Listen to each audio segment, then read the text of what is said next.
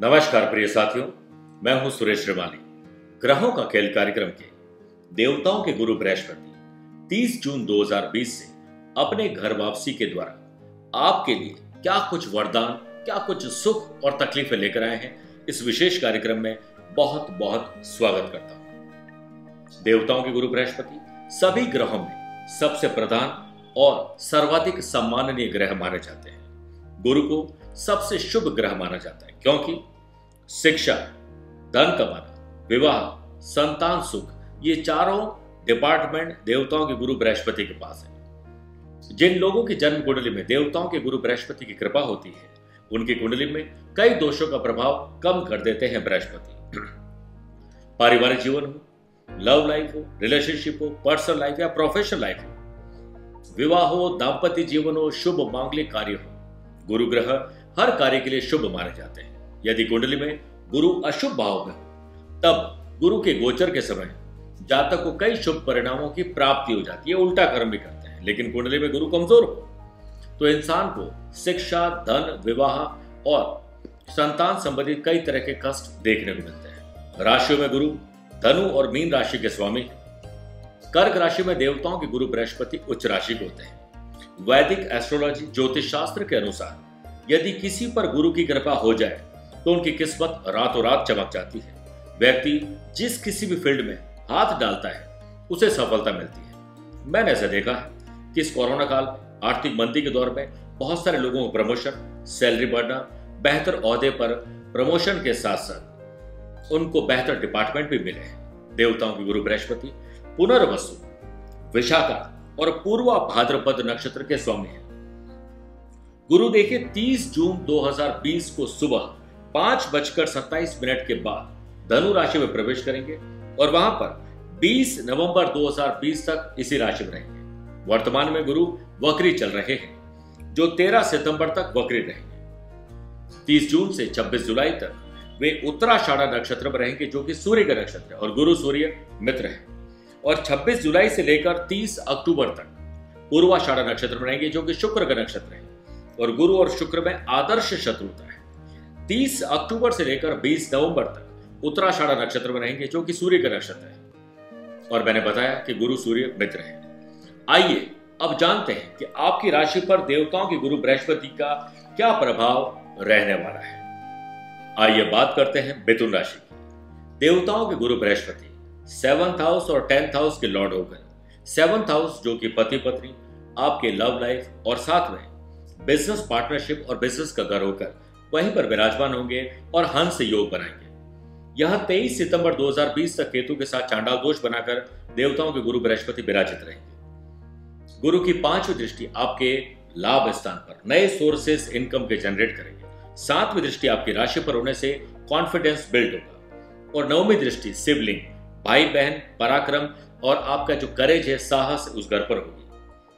इस समय विशेष में प्यार, इश्क और मोहब्बत में कुछ चुनौतियाँ जिम्मेदारियाँ और चैलेंजेस मिलेंगे। याद रखिएगा, आपको शनि की ढैया चल रही है और अगर ईश्वर आपको ये सब कुछ देते हैं चैलेंजेस और ज़िम्मेदारी तो याद रखना कि ईश्वर उसी इंसान को देते हैं जिसके पास ये काबिलियत होती है कि वो इन जिम्मेदारियों को पूरा कर सके। आपने जो सपने देखे हैं, वो सपने पूरे होने में अभी वक्त लगेगा, लेकिन सपने टूटेंगे नहीं। आपके जो भी पारिवारिक जीवन या लव लाइफ या किसी भी प्रकार के रिलेशनशिप में कोई बंधन है उस बंधन से मुक्त होकर, उस रिश्ते को सुधार कर मजबूती देने में आप सक्षम हो जाएँगे। आपका करियर अब स्थिरता की ओर आगे बढ़ेगा। इस गोचर के प्रभाव के कारण आपके पराक्रम, साहस में वृद्धि होना तय है। जो आपको अनिश्चितताओं से बाहर लाकर आपके लिए एक मददगार साबित होगा। जो आपको परेशान कर रहे हैं लोग, वह अब मुँह की खाने वाले हैं। जो लोग आपके काम में अड़ंगा डालते हैं, वो अब शांत होने वाले हैं। यह समय आपको अपने कौशल, यानी आपकी जो skill quality ability views ideas intelligence है, उसे प्रदर्शित करने का मौका मिलेगा। एक प्लेटफॉर्म आपको मिलेगा जिसमें आप नए इनकम सोर्सेस डेवलप कर पाए। आप याद रखिएगा, नौकरी छूटना, छोड़ना ऐसी नौबत आ सकती है। लेकिन अगर छूट भी जाती है तो उम्मीद और विश्वास नहीं छूटनी चाहिए। उसी से आप वापस अवसर को प्राप्त कर लेंगे। पिता के साथ संबंधों को बेहतर बनाना पिता की मदद करना, पिता की सेहत में सुधार के लिए प्रयास करना आपके लिए बहुत ज़रूरी रहेगा। आपका तीन दिन का काम तेरह दिन में होगा, बनती चीज़ें बिगड़ेगी। लेकिन आपको अपने पंक्चुअलिटी डिसिप्लिन और साहस के साथ एडवांस काम करने की आदत डाल लेनी चाहिए। इसी से आपको नई दिशा और दशा प्राप्त होगी। यह परिवर्तन आपके स्वास्थ्य के लिए ठीक है। बहुत अच्छा नहीं है। बहुत अच्छा बनाने के लिए योग, प्राणायाम एक्सरसाइज ध्यान और चिंतन का सहारा आपको ज़रूर लेना चाहिए। आप अपने फ़ूड हैबिट फ़ूड क्वालिटीज और फ़ूड टाइमिंग पर ज़रूर ध्यान दीजिए, वरना आपको तकलीफ़ आ सकती है। अगर आप पहले से ही हार्ट ब्लड प्रेशर या डायबिटिक के मरीज़ हैं तो आपको बेहतर ध्यान देने की ज़रूरत है, वरना नुकसान होगा। नए इनकम सोर्सेस के साथ साथ पैसे से पैसा बनाने के लिए आपको बेहतर लैंड डीलिंग शेयर मार्केट में पैसा लगाकर पैसा कमाने का अवसर मिलेगा। सोच समझ के कमाए लगाएँ, क्योंकि कई बार देखा जाता है कि एक बार इंसान का भाग्य काम करता है, पैसा कमा लेता है। लेकिन फिर वो जल्दी जल्दी पैसा कमाने में कुछ रॉन्ग डिसीज़न लेता है। वो हो सकता है।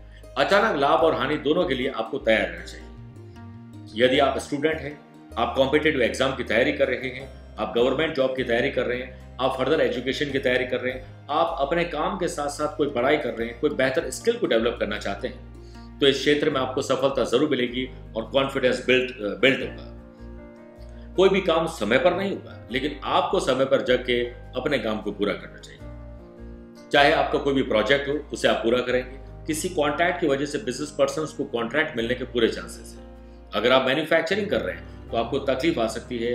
आप अपने बुद्धि, कौशल और अपने विवेक का इस्तेमाल करके निश्चित रूप से आप समय आने पर प्रगति करेंगे। लेकिन फ़िलहाल चीज़ों के डिले होने के चांसेस ज़्यादा है। जॉब में प्रगति होना, प्रमोशन होना, सैलरी बढ़ना, इसके साथ साथ ये सोच बहुत अच्छी है।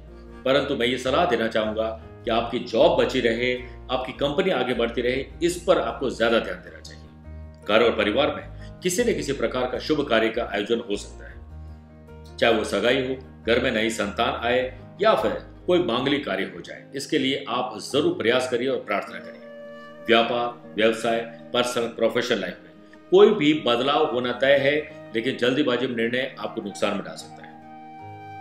इस समय विशेष में, एक बात में आप भाग्यशाली रहेंगे कि मित्र, सहयोगी, परिवार के लोग आपका साथ ज़रूर देंगे। अगर आप प्रत्येक गुरुवार को सूर्य उदय होने से पहले या उसके आसपास जब भी उठते हैं, नहाएँ और नहाते समय एक चुटकी हल्दी को पानी में मिलाकर अगर नहाते हैं और फिर भगवान विष्णु के सामने एक घी का दीपक जलाकर, बेसन के लड्डू का भोग लगाकर। ओम एँ क्लीन बृहस्पति नमः। इसकी एक माला जाप करके अगर आप रोज या हर गुरुवार को करते हैं तो आपको बहुत पुण्य और लाभ मिलेगा। जब भी किसी आवश्यक कार्य से बाहर निकले तो आप अपने माँ, बेटी, बहन के हाथ की बनी हुई रोटी में थोड़ा सा गुड़ और थोड़ा सा घी डालकर गाय को पहली रोटी खिलाएँ। केसर मिश्रित चंदन का तिलक कंठ पे और ललाट पे ज़रूर लगाएँ। अगर आप पुस्तकें पढ़ते हैं तो आप डोनेट भी करें। मंदिर में डोनेशन कर सकते हैं, केले का वृक्ष लगा सकते हैं, केले की पूजा कर सकते हैं। पीली चीज़ों का दान करना आपको इस समय विशेष में बहुत पुण्य लाभ देगा। मैं सभी मिथुन राशि वाले दर्शकों के लिए ईश्वर से प्रार्थना करता हूँ कि उनको हर प्रकार से सुरक्षित रखें, उनके अपनों को सुरक्षित रखें। आप भी इसमें अपनी और अपनों की मदद करें। और ऐसा ही हो, ऐसी शुभकामनाओं के साथ अपनी ज़ुबान को विराम देना चाहता हूँ। प्यार भरा नमस्कार और बहुत बहुत आशीर्वाद।